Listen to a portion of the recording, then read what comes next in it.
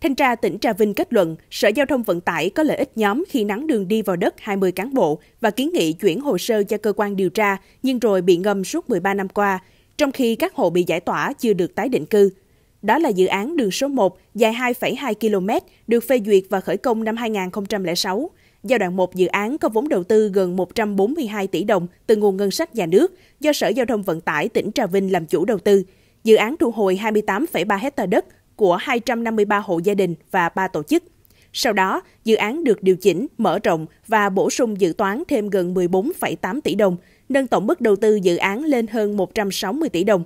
Sau khi tổ chức đấu thầu, công ty trách nhiệm hữu hạn xây dựng Hồng Lực và công ty trách nhiệm hữu hạn xây dựng Vàng Thành là hai đơn vị liên danh trúng thầu thi công dự án.